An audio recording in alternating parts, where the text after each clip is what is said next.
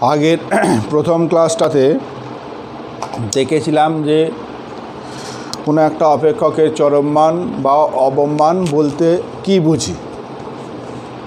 কোনো একটা অপেক্ষকের চরম বা অবম মান অর্থাৎ প্রান্তিক মান থাকার শর্ত কী?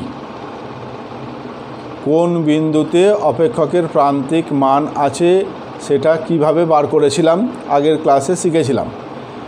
যে বিন্দুতে প্রান্তিক মান আছে দেখলাম, সেই প্রান্তিক মানটা চরম না অবম সেটা টেস্ট করার নিয়ম দেখেছিলাম আর চরম বা অবম মানটা বার করা শিখেছিলাম। ধরো একটা অপেক্ষক দিল এফ এক্স সমান এক্স কিউব, এইটা ধরো দিয়েছে এফ এক্স সমান x cube minus six x square plus nine x minus eight plus nine x minus eight দিয়ে বলল যে, এই অপেক্ষকের প্রান্তিক মানগুলি নির্ণয় করো। যখনই বলবে প্রান্তিক মান নির্ণয় করো, তার মানে জানতে হবে তোমার প্রান্তিক মান মানে চরম মানও হতে পারে, অবম মানও হতে পারে, দুটোই হতে পারে।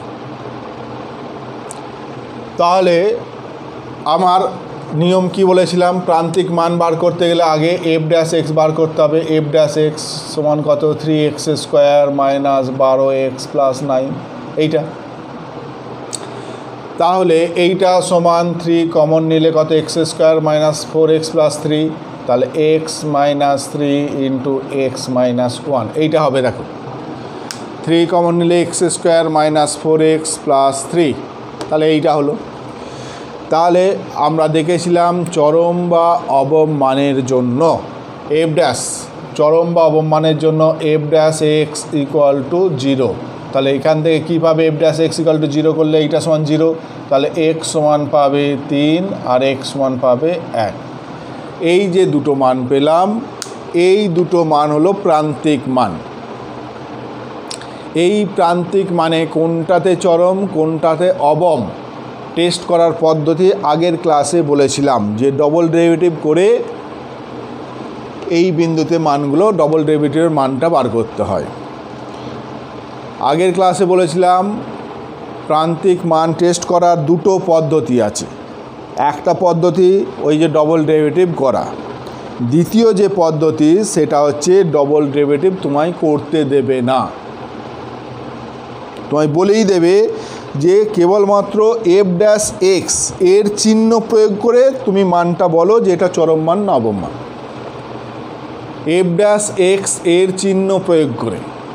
যখনই এই ল্যাঙ্গুয়েজটা দেবে যে এফ ড্যাশ এক্সের চিহ্ন প্রয়োগ করে তোমার চরম বা অবমান বার করো, তাহলে সেই ক্ষেত্রে তোমায় ডবল ডেরিভেটিভ করতে পারবে না।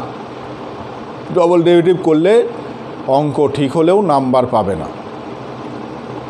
তাহলে এফ ড্যাশ এক্সের চিহ্ন প্রয়োগ করে কীভাবে করব? না এফ ড্যাশ এক্স মানেটা কি বলেছিলাম? এফ ড্যাশ এক্সের অর্থ হচ্ছে যে স্পর্শকের প্রবণতা। এফ ড্যাশ এক্সের অর্থ হচ্ছে যে স্পর্শকের প্রবণতা। এখন দেখো, একটা জিনিস খেয়াল করো যে কোনো একটা অপেক্ষক, কোনো একটা অপেক্ষক যে বিন্দুতে, ধরো এই যে বিন্দুতে, এই বিন্দুতে কি আছে মানটা? চরম মান, কারণ ওই বিন্দুর আশপাশে ডান দিক বাঁ দিকের মানের থেকে এই মানটা সব থেকে বেশি, তাহলে এটা চরম মান। তাহলে ওই বিন্দুতে এফ ড্যাশ এক্সটা কী হচ্ছে? যে যেহেতু স্পর্শকটা সমান্তরাল, স্পর্শকটা এক্স অক্ষের সমান্তরাল কিন্তু ওর আগের বিন্দুতে এফ ড্যাশ এক্স অর্থাৎ স্পর্শকটা কী হবে? এর আগের বিন্দুগুলোতে স্পর্শক কী হবে দেখো তো?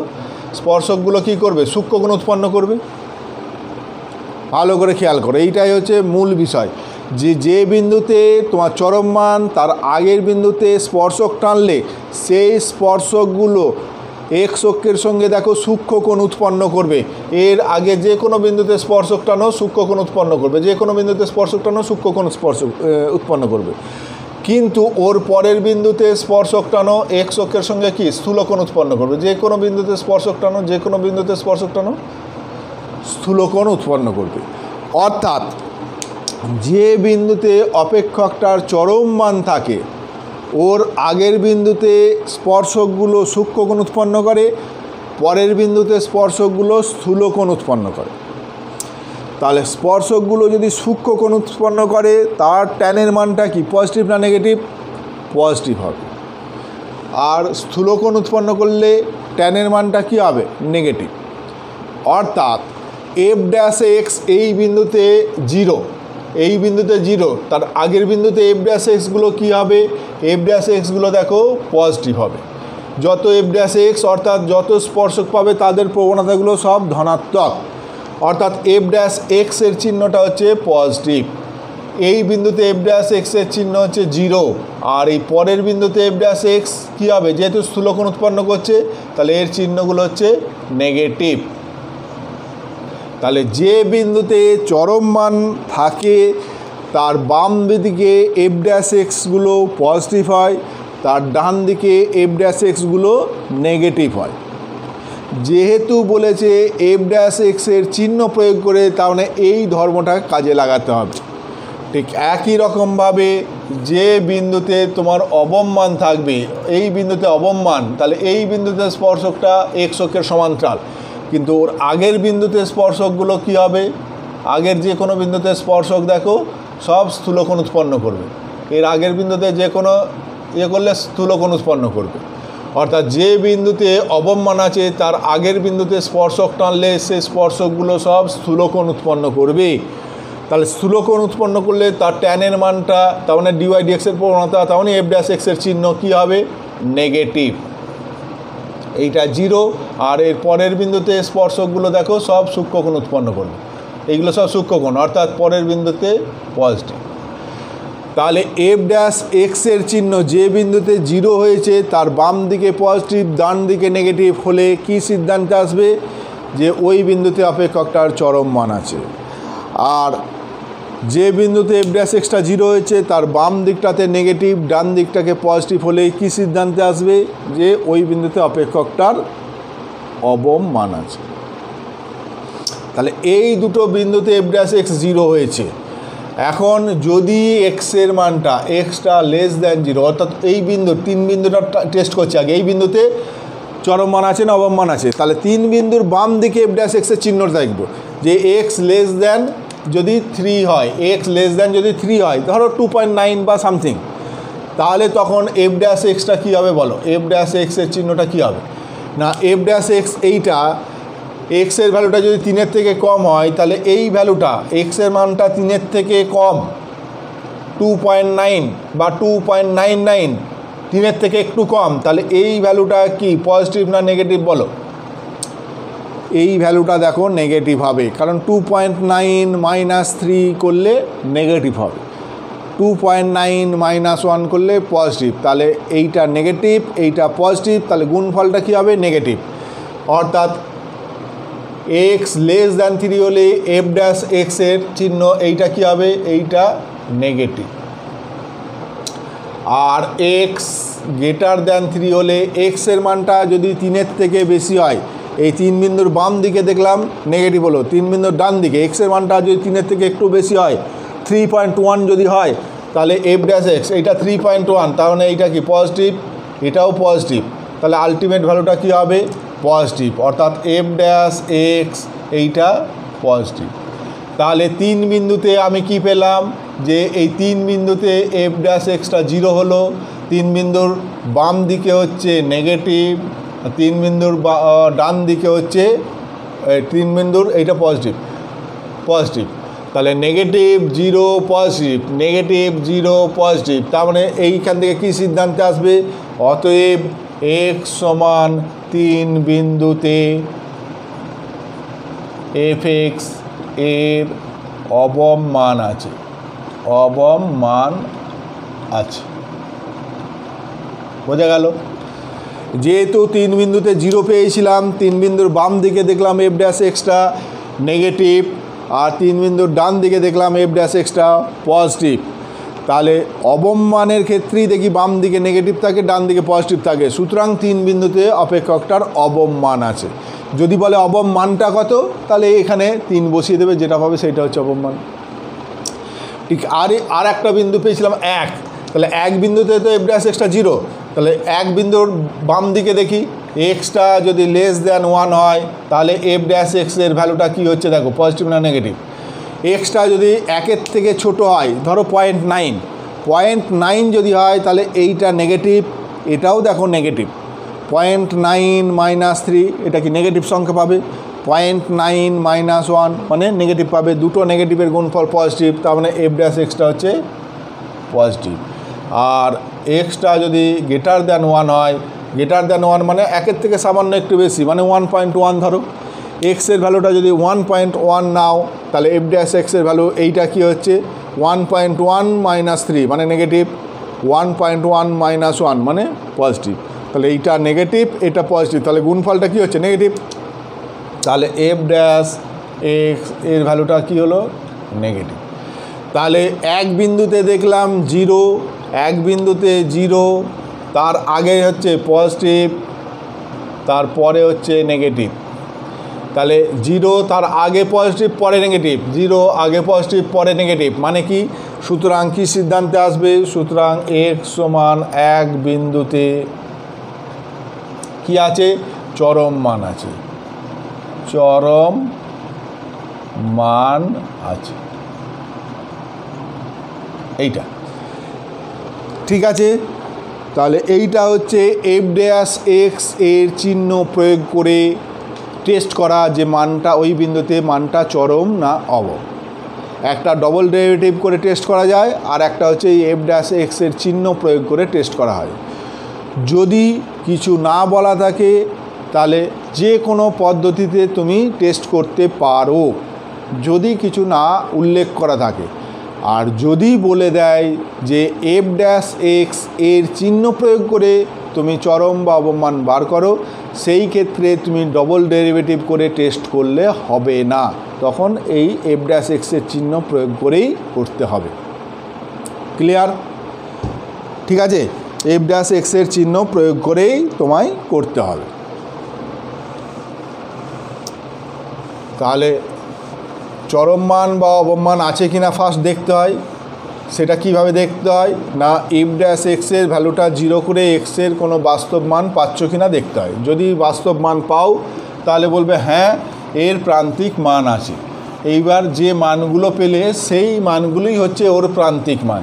এবার ওই মানগুলোর কোনটাতে চরম বা কোনটাতে অবম, সেটা টেস্ট করার দুটো পদ্ধতি, একটা ডবল ডেরিভেটিভ করে পদ্ধতি, আর একটা হচ্ছে যে এফ ড্যাশ এক্সের চিহ্ন প্রয়োগ করে টেস্ট করার পদ্ধতি। এই দুটো পদ্ধতির যে কোনো একটা পদ্ধতির সাহায্যে তুমি টেস্ট করে নেবে যে ওই বিন্দুতে মানটা চরম না অবম।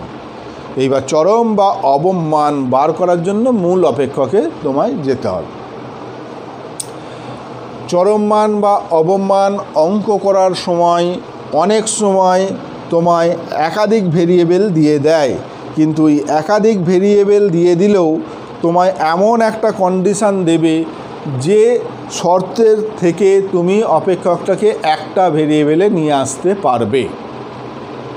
কারণ চরম বা অবমান বার করতে গেলে তোমাকে আগে অপেক্ষকটাকে একটা ভেরিয়েবলে আনতে হবে। সিঙ্গেল ভেরিয়েবলে তোমায় আনতে হবে। সিঙ্গেল ভেরিয়েবলে না আনলে অঙ্ক করতে পারবে না। যেমন ধরো একটা বলল যে যে কুড়ি সংখ্যাটাকে এমন দুটো অংশে ভাগ করো যে দুটো অংশের গুণফলটা হচ্ছে সর্বাধিক হবে।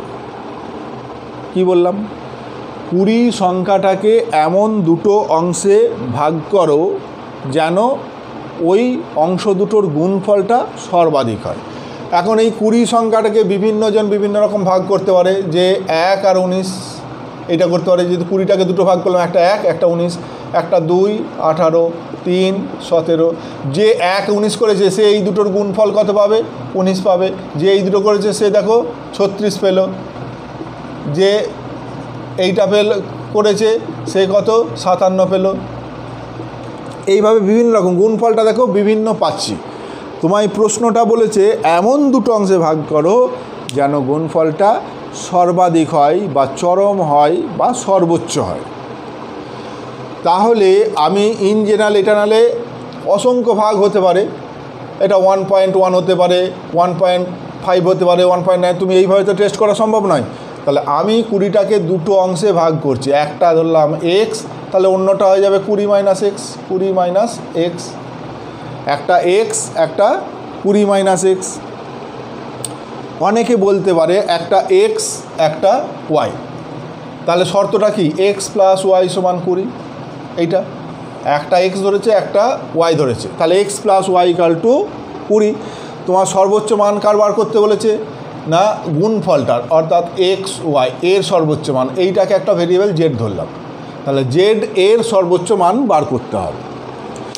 তাহলে এইখানে দেখো দুটো ভেরিয়েবল আছে, কিন্তু এই দুটো ভেরিয়েবলের জন্য এই দেখো কন্ডিশান দেওয়া আছে, এই দুটো যোগফল কুড়ি। তাহলে এই শর্তটাকে কাজে লাগিয়ে তুমি একটা ভেরিয়েবলে নিয়ে আসবে, হয় ওয়াইটাকে চেঞ্জ করবে কিংবা এক্সটাকে ধরো আমি ওয়াইটাকে চেঞ্জ করলাম, তাহলে এক্স ওয়াইয়ের ভ্যালুটা কত? কুড়ি মাইনাস এক্স কুড়ি মাইনাস এক্স সমান কত? Twenty x minus x square এইটা। এইবার দেখো একটা ভেরিয়েবলে চলে এলো। একটা ভেরিয়েবলে চলে এলো। এইবার জেডের সর্বোচ্চ চরম বা অবমানের জন্য ডিজেড ডিএক্স যেহেতু এক্স ভেরিয়েবলে নিয়ে এসেছি ডিজেড ডিএক্স ইকুয়াল টু কী হবে? জিরো হবে। ডিজেড ডিএক্সের মানটা কত? কুড়ি মাইনাস টু এক্স এইটা সমান জিরো লিখবে জেডের চরম বা অবমানের জন্য ডিজেড ডিএক্স সমান জিরো হবে। অর্থাৎ কুড়ি মাইনাস টু এক্স সমান জিরো বা এক্স সমান কত? দশ। এক্স সমান দশ পেলাম। তাহলে এক্স সমান যদি দশ হয়, তাহলে ওয়াই সমান কত? অতএব ওয়াই ইকাল টু কত? এক্স সমান যদি দশ হয়, তাহলে এক্সের জায়গায় দশ বসিয়ে দাও। তাহলে ওয়াই সমান পাবো কত? কুড়ি মাইনাস দশ। ওয়াইও পাবো দশ। ঠিক আছে? এইবার এই যে এক্সের মান দশ পেলাম, এই মানটাতে তোমার চরম নবম, সেটার জন্য কি? D two z d x two করো। D two z d x two at x equal to ten at x equal to ten এইটা ডবল ডেডিউকাল এটা জিরো আর এটা মাইনাস টু তাহলে দশ বিন্দুতে কত? যেহেতু এটা এক্স যুক্ত রাশি নেই, তাহলে এটা ইকাল টু মাইনাস টু তাহলে কি? এটা নেগেটিভ তাহলে নেগেটিভ হওয়া মানে কি বলব? নেগেটিভ হলে কি বলব? অতএব এক্স সমান দশ হলে জেড এর মান জেড এর মান সর্বোচ্চ হবে। সর্বোচ্চ বা চরম হবে। জেডের মান সর্বোচ্চ বা চরম হবে। তাহলে এক্স সমান যখন দশ, তখন ওয়াইও দেখলাম দশ। তাহলে সর্বোচ্চ মানটা কত? জেড ম্যাক্স বা সর্বোচ্চ মান। কত? এক্স ওয়াই এক্স ওয়াই তার মানে এক্স মানে দশ ওয়াই মানেও দশ। তাহলে সর্বোচ্চ মান একশো। অর্থাৎ এই রকম যত ভাগ করবে, দেখবে যে বাড়ছে, আবার চার, আঠা, ষোলো করলে চৌষট্টি, এইভাবে পাঁচ, পঁচাত্তর, এইভাবে বাড়তে বাড়তে যাবে। একটা সময় গিয়ে দশ দশ করবে, একশো হবে, তারপরে এগারো, নয় করবে, নিরানব্বই হবে, বারো, আট করবে, ছিয়ানব্বই হবে কমতে কমতে আসবে। অর্থাৎ সর্বোচ্চ মানটা হলো একশো। ঠিক আছে? কখনো এই রকমদের অঙ্কটা x plus y equal to কুড়ি এক্স ওয়াই এর সর্বোচ্চ মান বার করো। এইরকম অঙ্কটা দেয়। কখনও বলে যে কুড়িকে এমন দুটো অংশে ভাগ করো যেন ওই অংশ দুটোর গুণফল সর্বোচ্চ হয়। এইভাবেও অঙ্কটা দিতে পারে। সেম অঙ্ক। এবার এই অঙ্কটাই একটু ভাষা দিয়ে এরকমও দিতে পারে যে কোনো একটা কোনো একটা আয়তক্ষেত্রের, কোনো একটা আয়তক্ষেত্রের পরিসীমা চল্লিশ একক, কোনো একটা আয়তক্ষেত্রের পরিসীমা চল্লিশ একক। ওই আয়তক্ষেত্রের সর্বোচ্চ ক্ষেত্রফল কখন হবে? দৈর্ঘ্য প্রস্থ কত হলে? সেম অঙ্ক দেখো। কোনো একটা আয়তক্ষেত্রের পরিসীমা চল্লিশ একক, কোনো একটা আয়তক্ষেত্রের পরিসীমা চল্লিশ একক বলে দিয়েছে। কোনো একটা আয়তক্ষেত্রের পরিসীমা চল্লিশ একক। বলেছে ক্ষেত্রফল সর্বোচ্চ কখন? দৈর্ঘ্য প্রস্থ কত হলে ক্ষেত্রফলটা সর্বাধিক হবে? তাহলে আয়তক্ষেত্র যদি এক্স দৈর্ঘ্য এক্স প্রস্থ ওয়াই ধরি, তাহলে দেখো শর্ত দিয়েছে two into x plus y equal to চল্লিশ বা x plus y equal to কুড়ি।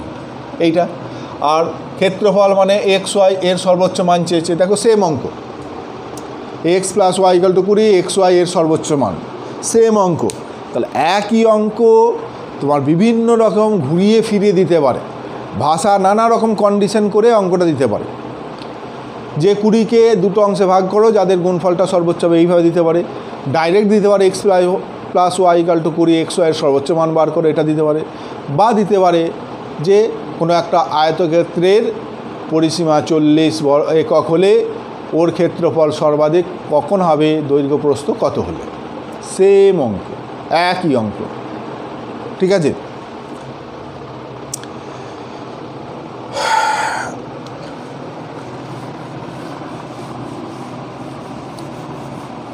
যে ধরো এরকম একটা অঙ্ক দিল যে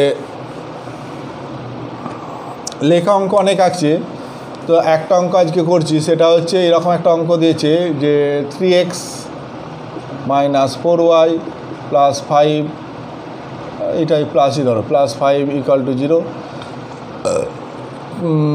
তিন তিন কমা এক, বা এক কমা তিন কমা, ধরো, একই থাকে, যাক। ধরো বলল যে এই তিন কমা এক বিন্দু থেকে এই সরলরেখার দূরত্ব বার করো। তোমার এই কলনবিদ্যা প্রয়োগে। কলনবিদ্যা প্রয়োগে। আমরা এমনি জানি যে এই বিন্দু থেকে এই সরলরেখার দূরত্ব আমরা জানি। কি? না দূরত্ব কি হয়? না মডিউলাস অফ বিন্দুটা বসে যায় তিন তিরিকে নয়। মাইনাস চার প্লাস পাঁচ বাই রুট ওভার অফ এইটার স্কোয়ার প্লাস এইটার স্কোয়ার মানে নয় প্লাস ষোলো। এইটা এক্সের জায়গায় তিন ওয়াইয়ের জায়গায় এক, বসালে তিন মাইনাস চার প্লাস পাঁচ। তাহলে কত হচ্ছে? দশ বাই পাঁচ মানে দুই। এইটা হচ্ছে অ্যান্সার। কিন্তু এইটা আমরা ইলেভেনে শিখেছিলাম। এখন বলছে কলনবিদ্যা প্রয়োগ করে। কলনবিদ্যা প্রয়োগ করে মানে?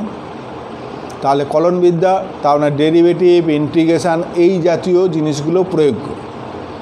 তাহলে এখানে ইন্টিগ্রেশন কাজে লাগবে না, আমার ডেরিভেটিভটাই কাজে লাগবে। অর্থাৎ দূরত্বটা লম্ব দূরত্ব মানে সেটা সবথেকে কম দূরত্ব, অর্থাৎ সর্বনিম্ন দূরত্ব।